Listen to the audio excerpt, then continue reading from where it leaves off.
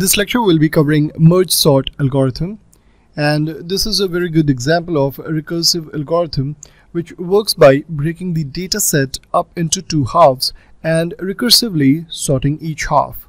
When the two halves are sorted, they are brought together using a merge routine. So basically, in simple words, if we say we can divide the unsorted list into n sublists, each containing one element. A list of one element is considered sorted.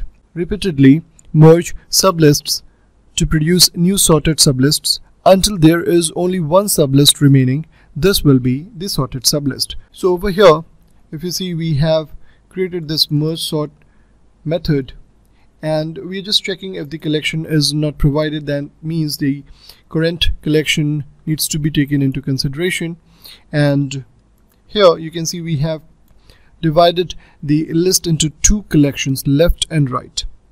Now here we have the middle value. So in order to add items to left and right we are kind of first of all finding out the middle value.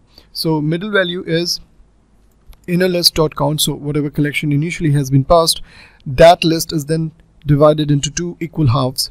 And one is called left the other one is called right. After that what we do is we add items to the left and right lists as you can see over here.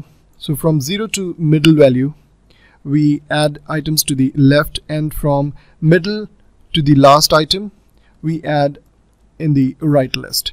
And then again we send that list as an input to the merge sort method.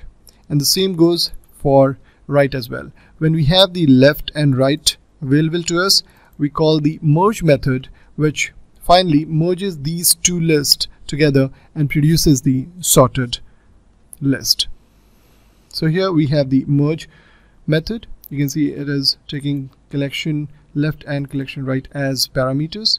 And then here we have the condition.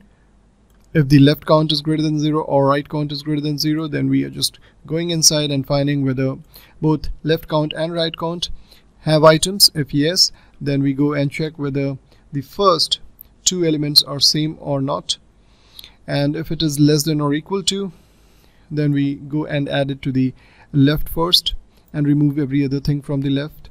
And if that's not the case then we go and do the same with the right list. If that's not the case then we check for left and right count respectively and do the same. And finally we return the result. So now if I go ahead and run this one you'll notice that here we are storing it in a separate list and then we are looping through that list. So the sorted list is returned using this merge sort and if we run this one you'll notice the values are coming up over here 14 to 96 in a sorted order. And the original list is displayed on top 96 to 96 over here. So that's how merge sort works